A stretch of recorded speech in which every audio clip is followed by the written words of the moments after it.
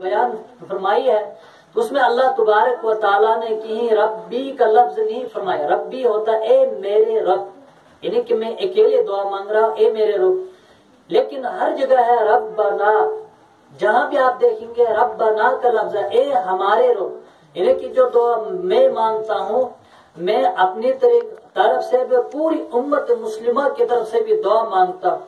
اور اس میں ایک مسئلہ یہ حل ہو جاتا ہے کہ اللہ تبارک و تعالیٰ نے فرمایا، من جا بالحسنہ، جس نے ایک نیکی کی، جس نے ایک نیکی کی اور دعا کسی کے لیے دعا کرنا بھی نیکی ہے۔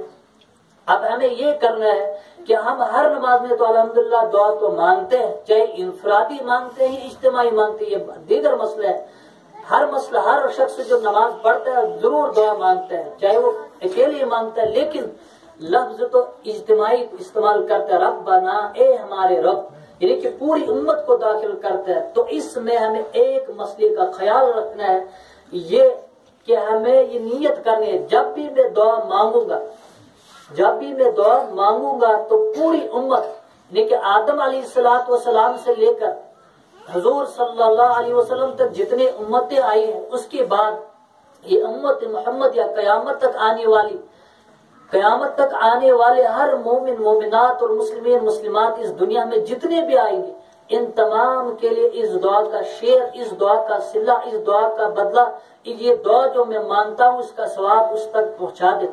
تو اس میں یہ ہوگا کہ ہم تو دعا مانگیں گے، اللہ تبارک و تعالیٰ تو ہمیں ہماری دعا کو بھی قبول کریں گے۔ مسئلہ تو یہ ہوگا کہ آپ یہ اندازہ نہیں لگا سکتے کہ حضرت آدم علیہ سلاط وسلام سے لے کر حضرت محمد صلی اللہ علیہ وسلم تک کتنے مومنین، مومنات، مسلمین، مسلمان دنیا میں آئے، کوئی کیلکولیٹ نہیں لگا سکتے، تعداد نہیں کر سکتے، کوئی کاؤنٹنگ نہیں کر سکتا گر نہیں سکتا ہے۔ اب مسئلہ یہ ہے کہ اس کے بعد حضور صلی اللہ علیہ وسلم کی باعثت سے لے کر قیامت تک آنے والی کتنی امت بے شمار جس کا ہم کبھی احاطہ نہیں کر سکتے، گنتی نہیں کر سکتے تو اب جب ہم گنتنی گنتی نہیں کر سکتے، پھر ہم ایک وقت میں ایک دعا کریں۔ ایک وقت میں جب دعا کریں، اتنے ثواب ہمیں ملیں گے۔ اتنے اتنے لوگوں کو یہ ہماری دعا کا ثواب ملے گا۔ اب قیامت تک ہم کتنی نمازیں، جب تک ہم زندہ ہیں کتنے نمازیں پڑھیں گے، آپ حساب لگائے پچاس سال میں، ساٹھ سال میں، بلوغت سے لے کر ساٹھ سال کی، ستر سال، سو سال تک کی عمر میں ہم کتنے فرض نمازیں پڑھیں گے، اس وقت ہم دعا کریں گے، پھر ہم تحجد میں دعا کریں گے، پھر ہم اختیاری کے وقت دعا کریں گے، پھر ہم اجتماع میں دعا کریں گے، پھر ہم نکاح خانیوں میں دعائیں کریں گے۔ تو اس پوری دعاؤں میں ہم پوری امتوں کو جب شامل رکھیں گے۔ اب اللہ تبارک و تعالیٰ نے فرمایا، تم نے اگر کسی کے ساتھ ایک نیکی کی، کتنی؟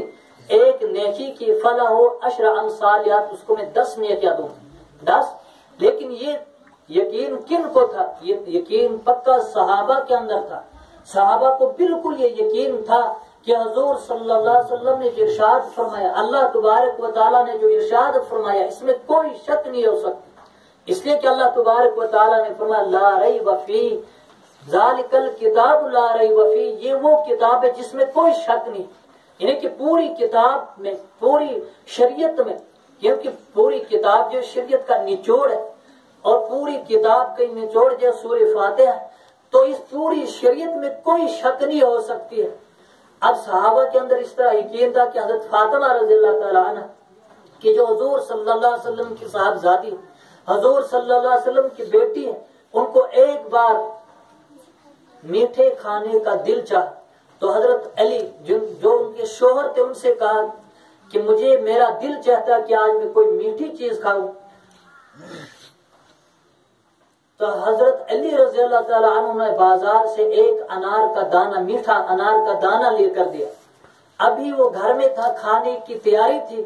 حضرت علی باہر چلے گئے۔ کوئی فقیر آیا، کوئی سائل آیا دروازے پر دستخط۔ حضرت فاطمہ نے دروازہ کھولا اور کہا کہ یہ تو مانگنے والا، یہ تو سائل ہے۔ اب میرے پاس تو اور کچھ بھی نہیں ہے کھانے کے لیے۔ وہ انار کا دانہ اٹھایا اور اس کو دے دیا۔ کتنی قربانی دی کہ جو دل چاہ رہا تھا خود کھانے کو کہیں دنوں سے۔ اور وہ کیا کیا کہ وہ وہ دانا جو حضرت علی رضی اللہ تعالیٰ نے لا کر دیا تھا، وہ اٹھا کے اس فقیر کو دے دیا۔ اب دیکھو یقین کہاں سے بدلتا ہے۔ تو حضرت فاطمہ کو یقین تھا کہ اگر میں نے ایک نیکی کی، اللہ تبارک و تعالیٰ مجھے اس کے بدلے میں دس نیکیاں دیں گے۔ کیوں؟ اللہ تبارک و تعالیٰ من جا ابھی بالحسن جس نے ایک نیکی کی فلاح ہو اشر تو اس کے لیے دس، اس جیسے دس نیکیاں ملیں اس جیسے دس ثواب ملیں گے۔ تو اب مجھے اس کے بدلے میں دس انار اللہ تبارک و تعالیٰ دے دے گا، کوئی شک نہیں۔ تھوڑی دیر کے بعد حضرت علی رضی اللہ تعالیٰ مسجد میں بیٹھے تھے۔ ایک صاحب آئے اور دس انار ہدیہ میں لے کر آئے۔ کتنے؟ دس انار ہدیہ میں لے کر آئے۔ اور حضرت علی اٹھے اور ایک انار کا دانہ کھا لیا۔ اور نو گھر بھیج دے کسی کے ہاتھ تو حضرت فاطمہ نے وہ نو انار کے دانے نہیں پک کیوں؟ کہا کہ مجھے معلوم ہے کہ اللہ تبارک و تعالیٰ نے فرمایا کہ جس نے ایک نیکی کی، اس کو میں دس دوں گا۔ یہ نو کیسے مجھے مل رہی؟ یعنی کہ یقین تھا کہ اللہ تبارک تعالیٰ نے پکے دس بھیجے ہوں گے۔ میں نے تو ایک انار کا دانہ خرچ کیا تھا، دس تو ملنے۔ تو حضرت علی نے کہا کہ ایک دانہ میں نے کھا لیا۔ پہلے تو اصرار کیا پہلے کہا کہ میں نے میں نے کھایا نہیں ہے، اتنے ہی آئے تھے، کہا یہ ایسا ہو ہی نہیں سکتا کہ اللہ تبارک و تعالیٰ کا جو اللہ تبارک و تعالیٰ کا جو ارشاد ہے، وہ جھوٹا۔ مجھے پورا یقین ہے کہ یہ دس دانے ہو سکتے تھے۔ تو حضرت علی نے کہا کہ واقعی میں دس آئے تھے اور میں نے ایک کھا لیا اور یہ دس بچے۔ یہ اصل میں مسئلہ یہ ہے کہ پوری دنیا میں اس وقت جو محنت چلتی ہے، وہ محنت ہمیں بھی جاری کرنی جس سے دین وجود میں آتا ہے، وہ محنت کیا ہے؟ کا نعبد اللہ ہی سے مدد مانگ۔ یعنی کہ اللہ کے علاوہ کسی فقیر کے پاس، کسی درویش کے پاس، کسی مزار پر، کسی ولی کے پاس، کسی بڑے عالم سے مدد نہیں مانگنی۔ کیوں؟ کا نعبد اللہ ہی سے مدد مانگ۔ وہ کا نستعین اور اسی سے مدد طلب کر۔ اسی سے، اسی کی بندگی کرو۔ کا نعبد، اسی کی بندگی کرو۔ کسی کسی کی بندگی نہیں کرنے اللہ تبارک و تعالیٰ کے سوا وہ نستعین اور اسی سے بند، اسی سے مدد طلب کرو۔ تو اللہ تبارک و تعالیٰ نے جب سے اس پوری کائنات کو بنایا ہے، اس انسانیت کو بنایا ہے، اس انسانیت کو سمجھانے کے ایک آیت نازل فرمائی۔ وہ یہ ہے ان الانسان لربه لکنود بے شک یہ انسان کتنا ناشکر ہے۔ اس انسان کو سمجھانا چاہتا ہے۔ اللہ تبارک و تعالی جب اس بندے کو کوئی بات سمجھاتا ہے تو پہلے مضمون بیان کرتا ہے۔ حضور صلی اللہ علیہ وسلم کو ایک مسئلہ سمجھانے کے لیے پچھلے احسانات گنتا ہے کیا آپ کو معلوم نہیں کہ فلانی موقع پر میں نے آپ کے ساتھ کیا کیا۔